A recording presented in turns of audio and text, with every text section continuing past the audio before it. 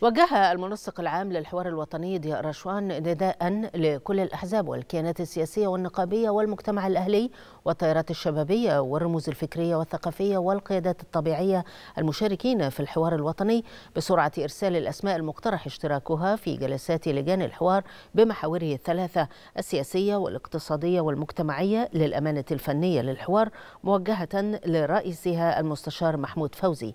وفي بيان أوضح المنسق العام أن سرعة إرسال الأسماء المقترنة باللجان والموضوعات المتفرعة عنها ستتيح لمجلس الأمناء في اجتماعه في الأسبوع القادم أن ينجز ترتيب الأسابيع الأولى من جلسات الحوار الذي اقترح المجلس في جلسته الأخيرة أن يبدأ يوم الأربعاء الثالث من مايو.